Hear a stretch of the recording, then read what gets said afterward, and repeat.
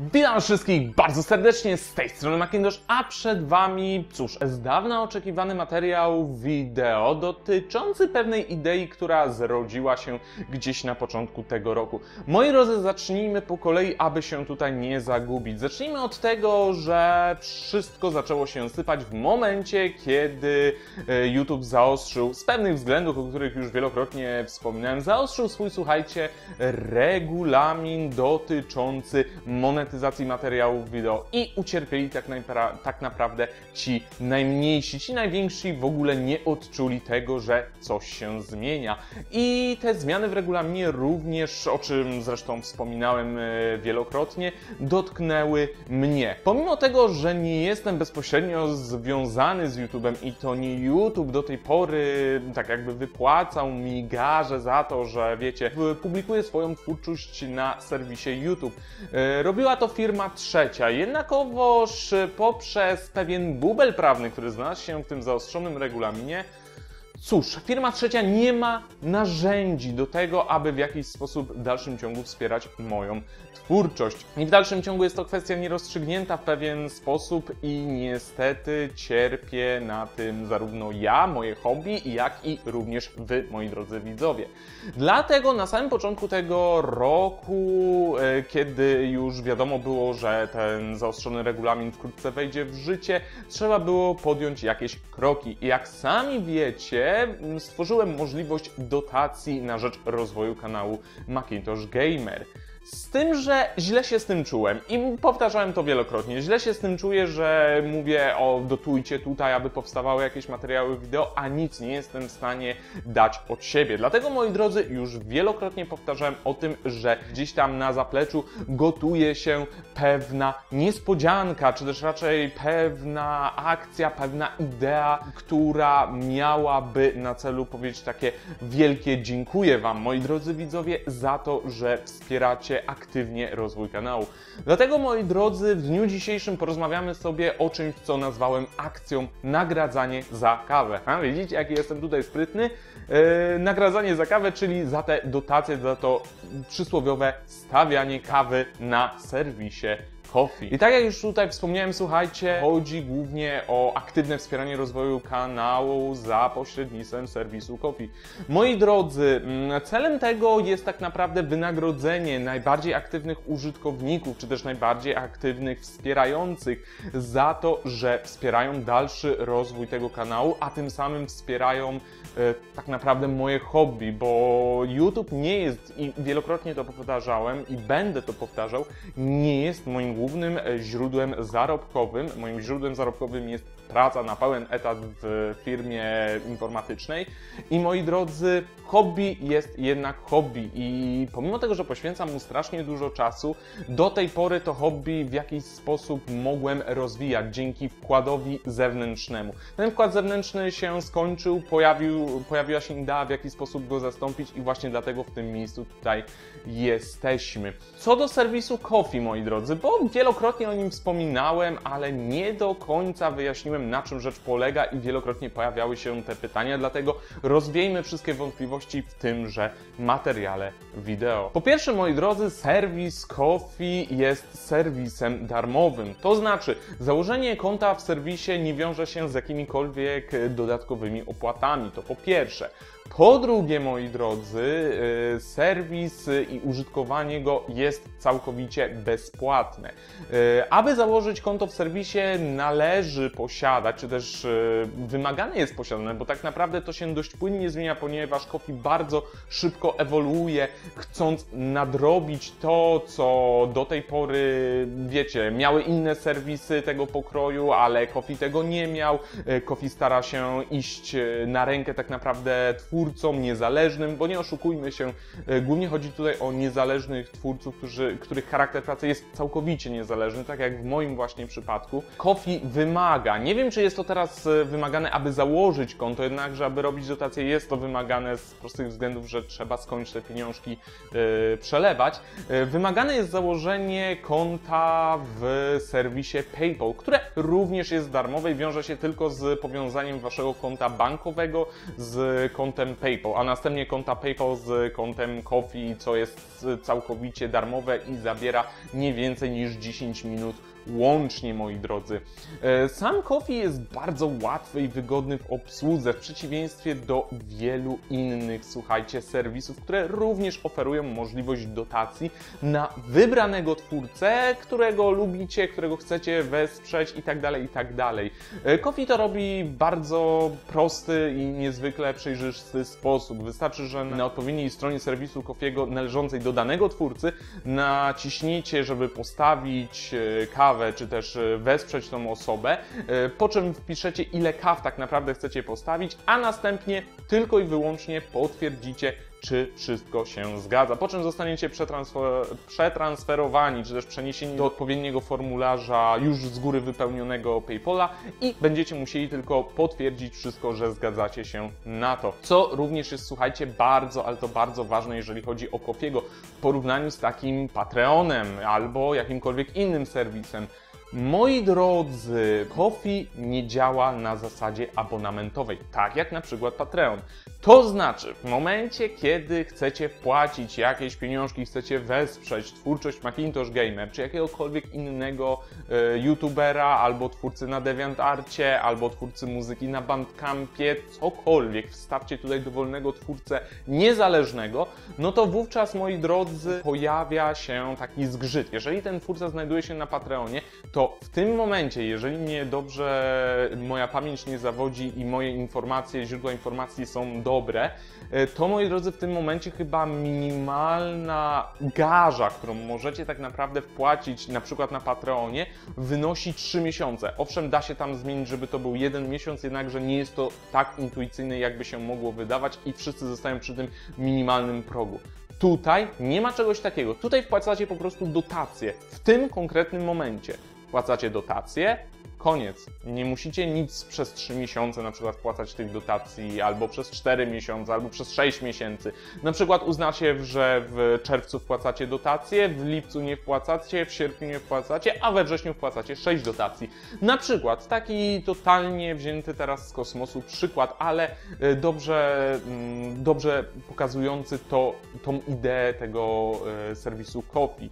No i słuchajcie, też w porównaniu z innymi serwisami, gdzie możecie dotować i wspierać swoich e, wybranych twórców, Kofi ma jedną dużą przewagę.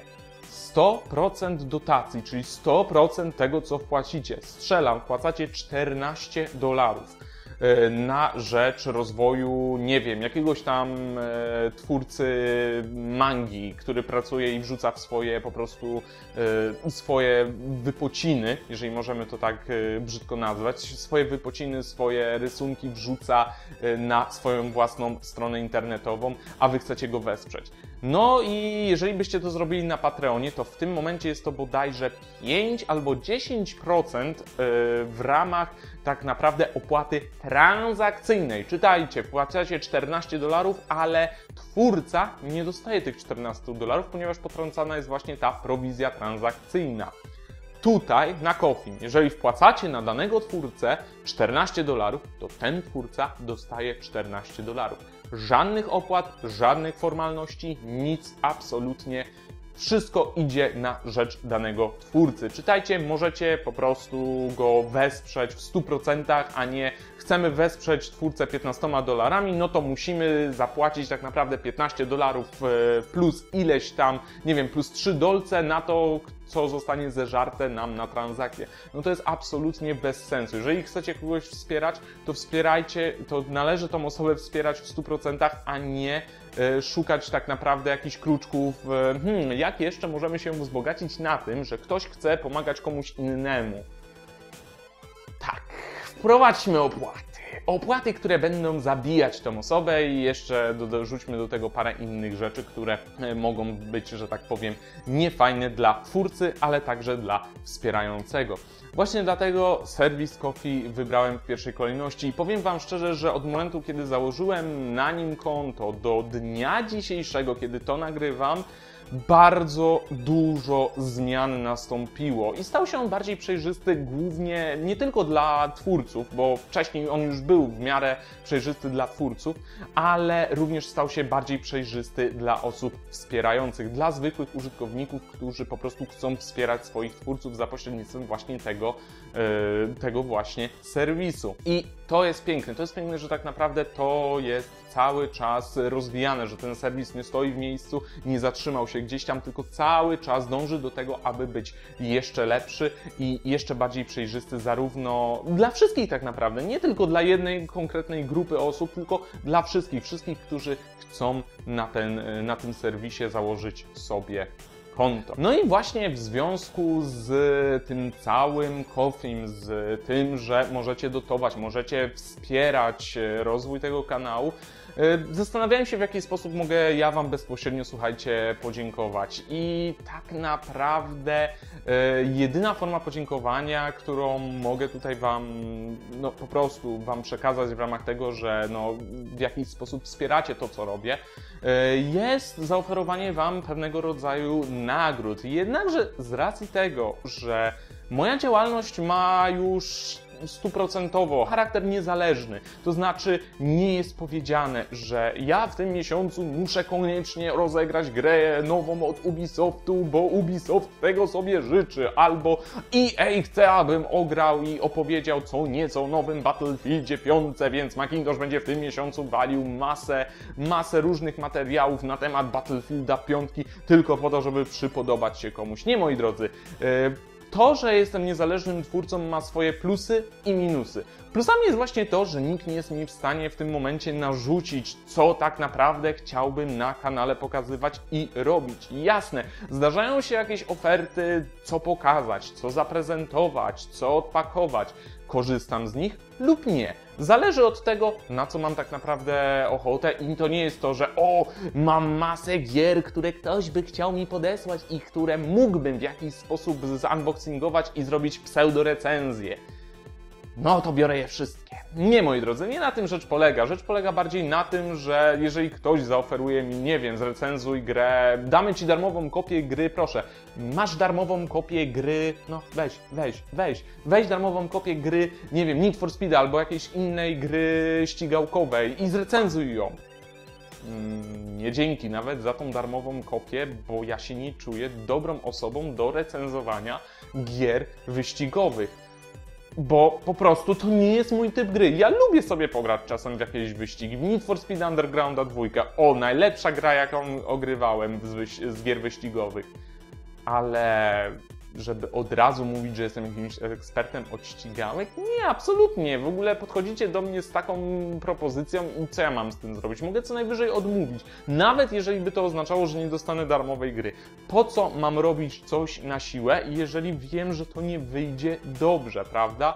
To jest właśnie jeden z tych plusów. Minusem za to jest to, że no niestety, co mogliście sami się przekonać, e, no nie mam dostępu do jakichś e, specjalnych, wiecie, specjalnych e, preskitów czy jakichkolwiek zaproszeń. Jasne, takie zaproszenia się pojawiają, ale jestem gdzieś tam na szarym końcu tej listy twórców.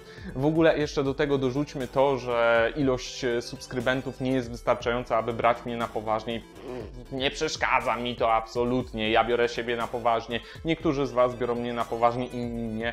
Nie przeszkadza mi to, bo robię to, co lubię najzwyczajniej w świecie i sprawia mi to radość. I o to tak naprawdę tutaj chodzi. A przy okazji, kiedy mi to sprawia radość, chcę podzielić się tą radością z innymi osobami, które z miłą chęcią by to zobaczyły i wiedzą, że mogą również wypowiedzieć się, co oni myślą na ten temat. I przy okazji poznać jakichś innych ludzi, poznać inne, że tak powiem, punkty widzenia, inne perspektywy, etc., etc.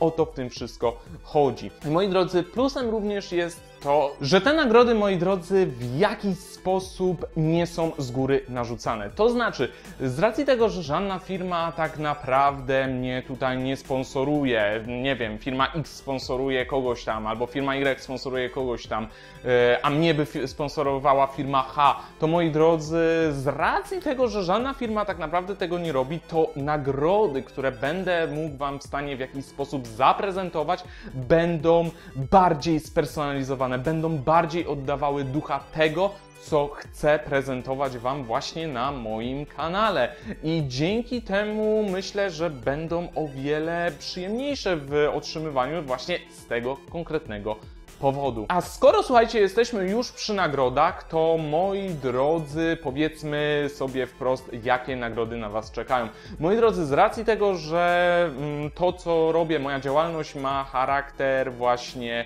niezależny, yy, musiałem podzielić nagrody na dwie sekcje. Po pierwsze, nagrody gwarantowane. Nagrody gwarantowane, czyli coś, co otrzyma każdy z Was, który yy, zadotuje. I są to oczywiście podziękowania w w materiałach wideo, nie we wszystkich oczywiście rzecz biorąc, e, jednakże w określonych materiałach e, wideo te podziękowania już w tym momencie możecie zauważyć dla osób, które e, aktywnie wspierają rozwój kanału, to po pierwsze, ale moi drodzy, wydaje mi się, że w przyszłości więcej takich podziękowań, większej ilości materiałów również zacznie się pokazywać. Tak jak mówię, to jest wszystko tak naprawdę rozwojowe. Powiedzmy sobie wprost, to jest rozwojowe i w każdym momencie mogę zacząć w jakiś sposób e, dodatkowo to rozwijać. Dodatkowe materiały również mam w planach, jakiś wiecie, jakiś inny typ materiałów, w którym również te podziękowania mogłyby się dla Was e, pojawiać, moi drodzy. A co najważniejsze w tym momencie to to, że te podziękowania będą na 100%. Jeżeli zadotujecie chociażby jedną kawę, dotrzymacie, moi drodzy, te podziękowania ode mnie właśnie w określonych materiałach wideo. Druga sprawa to rzecz typowo wirtualna. Rangi i powiązane z nimi, słuchajcie, mm, ikonki w stylu achievementów odblokowywanych, y, tak jak na przykład y, na platformie Steam, bo jest to rzecz, która tak naprawdę jest dość y, nie tyle prosta do zrobienia, co w jakiś sposób może również oddać to, jak bardzo chciałbym podziękować Wam. I to jest tak naprawdę, niektórzy powiedzą pierdoła. Pierdoła, która no, wiele osób na takie pierdoły właśnie zwraca uwagę i te osoby to cieszy. Znajdzie się osoba, która powie, a może być, jakby tego nie było, też by było dobrze i wszystko jest ok. Ale są osoby, które powiedzą, o fajnie, że takie coś jest, super, dzięki Ci, że właśnie coś takiego pomyślałeś, lubię takie rzeczy. Więc wiecie, zawsze można po prostu kogoś nie zadowolić, że coś jest zrobione, niźli nie zadowolić większej liczby osób, bo nic nie zostało w tej, w tej kwestii konkretnie zrobione, czy też nie zostało przedsięwzięte. Dlatego tak będą wyglądać, słuchajcie, te nagrody gwarantowane i więcej informacji o nich zapewne znajdziecie w dokumencie dodatkowym, do którego link znajduje się na pewno w opisie tego materiału wideo, a jeżeli jeszcze go tam nie ma, to pojawi się za jakiś czas i na pewno również informacja o tym dokładnym opisie podziału rank i tak dalej, i tak dalej pojawi się w najbliższych dniach e, i zostanie w jakiś sposób zakomunikowane na wszystkich mediach społecznościowych, w tym oczywiście również na Coffee. I moi drodzy, druga kategoria nagród, czyli nagroda specjalna. Dlaczego używam słowa nagroda specjalna? No bo z tego względu, moi drodzy, że w tym momencie jest to nagroda tylko jednostkowa. E, będzie ona przyznawana raz do roku, pod koniec roku i będzie zależała od paru czynników. W pierwszej kolejności będzie oczywiście zależała od tego, e, ile dotacji zostało złożonych. To znaczy, musicie przekroczyć pewien próg e, dotacyjny, a po drugie, musicie zadotować najwięcej spośród wszystkich wspierających kanał. A ale oczywiście e, nie oznacza to, że w przyszłości na przykład nie będzie takich dwóch nagród albo trzech nagród za trzy pierwsze miejsca najwięcej dotujących na rzecz rozwoju kanału. E, I moi drodzy, e, czym będzie ta nagroda? Ta nagroda będzie mm, jakby to najłatwiej tutaj opowiedzieć, żeby się nie zakopać. Zapewne wiecie, czym jest NerdCube, albo jeżeli nie wiecie, czym jest NerdCube, to pewnie kojarzycie ideę Pixelboxa albo czegoś w tym rodzaju. No to moi drodzy, o czymś takim właśnie myślałem. Będzie to y, nagroda specjalna, nagroda rzeczowa, w której znajdą się gadżety, nie zawsze oczywiście, podkreślam tu, nie zawsze znajdą się gadżety licencjonowane z danych gier, ale na pewno związane z tym, co robię na kanale. To znaczy, nie wiem, może dostaniecie soundtracka z jakiejś gry, oficjalnego rzecz jasna, albo dostaniecie jakąś mapę z gry, albo jakiś brelok, cokolwiek. Na pewno też dostaniecie, słuchajcie, kubek. Kubek, który ja sam zadezajnuję y, i który będziecie mogli otrzymać z tego względu, że cała idea tego, że stawiamy kawę, tudzież herbatę, bo niektórzy nie piją kawy, więc stawiamy niektórym e, herbatę, ewentualnie whisky, gin, rum, wódkę, tequilę albo inny alkohol, który można by było z tego kubka wypić, e, oglądając na przykład swojego ulubionego twórcę w czasie kolejnego nagrania, nie wiem, z Let's Playa, Retroplaya czy jakiegoś innego materiału wideo. Taki kubek na pewno się pojawi i obiecuję Wam, że będziecie z niego zadowoleni, bo mam parę pomysłów, jakby ten kubek mógł wyglądać, ale to będzie taki gadżecik dodatkowy. Nie będzie, wiecie, opowiem, o macie kubek i macie soundtrack, cieszcie się, zdobyliście za największą ilość dotowania. Nie, nie, nie, moi drodzy. Tak się zastanawiałem, co można by było do tej paczki wrzucić i na pewno będą to rzeczy powiązane właśnie z grami. Przykładem może być, gdzieś sobie tu odłożyłem, żeby nie zapomnieć, na przykład może być, moi drodzy, taka książka e, Nila Gaimana, czy też Gaimana, e, mitologia nordycka. Jak to się ma do gier, moi drodzy? Książka jest bardzo dobra, od tego zacznijmy. Jeżeli chcecie ją sobie kupić, polecam. E, książka jest naprawdę, słuchajcie, bardzo dobra, bardzo fajnie się ją czyta, jest bardzo dobrze napisana, skonstruowana. Nie są to, jak niektórzy twierdzą, flaki z olejem pokroju um, Hobbita albo Władcy Pierścieni, wiecie, opisy wszystkiego, co jest możliwe.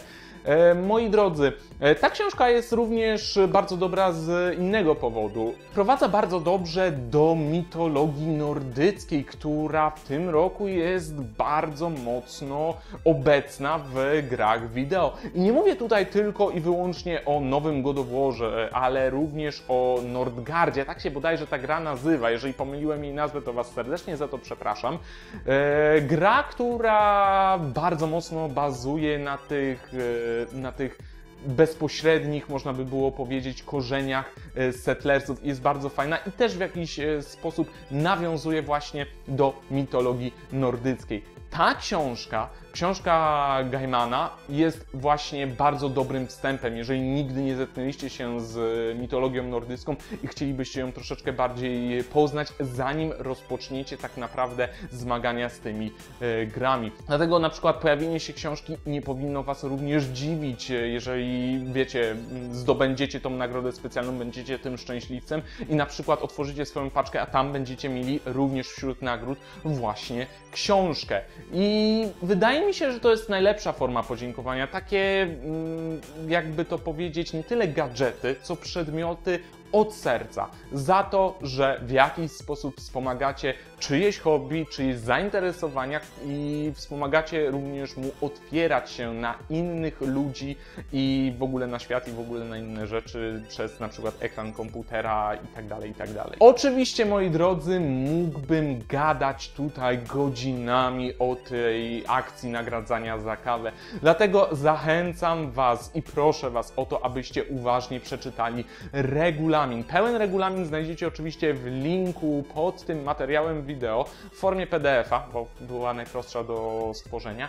I moi drodzy, zachęcam Was gorąco do tego, abyście się z nim zapoznali. A to, czy będziecie dotować, czy też nie będziecie dotować, zależy tylko i wyłącznie od Was ale ja mogę tylko powiedzieć, że nawet te drobne dotacje, te drobne dotacje, które się pojawiają oczywiście na cel, który jest jasny, bo o tym zapomniałem powiedzieć, że cel na Kofim jest zawsze jasno, klarownie zaznaczony i nie ma możliwości w jakiś e, sposób zachachmęcenia, jak to się u nas mówi, e, pieniążków na jakieś inne e, sprawunki. Dlatego, moi drodzy, zachęcam Was do zapoznania się z tym regulaminem, zachęcam Was również do wspierania dalszego rozwoju mojego kanału, kanału wideo i zachęcam Was do po prostu mówienia o tym, że istnieje sobie gdzieś tam na YouTubie taki mały człowieczek, który ma aspiracje, żeby pokazywać ludziom, co myśli o danych tytułach i ma również aspiracje na to, aby zabierać niektóre osoby w nostalgiczną przeszłość i oglądanie gier retro, a także trochę nowszych gier, które czasami nie mają wystarczającej ilości czasu w świetle reflektorów, a są bardzo, ale to bardzo dobre. Pamiętajcie o tym, ponieważ e, coraz mniej jest takich małych, niezależnych twórców e, na YouTubie i zaczynają się oni powolutku wykruszać. Właśnie z tego prostego powodu, że im więcej rzeczy jest robione dla ludzi, tych dużych, którzy się już zdążyli dorobić, tym mniej patrzy się na tych maluczkich. A pamiętać należy to, że każdy serwis, nawet YouTube, zaczynał właśnie od tych maluczkich, a teraz, kiedy się o nich zapomina, zaczyna być po prostu smutno i będziemy potem zmuszeni do tego, aby oglądać takich, e, nie wiem, PewDiePie'ów e, czy, jak, czy jakichś innych markiplayerów, e, którzy są dość duzi i którzy robią określone tylko typy materiałów wideo i tylko to na YouTubie będzie się pokazywać, a inne formy zaczną powoli, powoli wymierać. I słuchajcie, to by było na tyle w tym materiale informacyjnym odnośnie akcji nagradzania za kawę. Mam nadzieję, że przekazałem Wam wszystkie informacje, które chciałem przekazać. Oczywiście jest tego znacznie, tak jak już wcześniej wspomniałem, znacznie, znacznie więcej. Jednakowoż ten materiał musiałby mieć z 3-4 godziny, aby o tym wszystkim poopowiadać. Dlatego, moi drodzy, zachęcam Was jeszcze raz do przeczytania pełnego regulaminu tejże akcji. A ja się z Wami w tym momencie żegnam. To by było na tyle. Dzięki Wam za uwagę. Komentujcie, subskrybujcie, polecajcie swoim znajomym przyjaciołom. Trzymajcie się i do następnego razu. Cześć!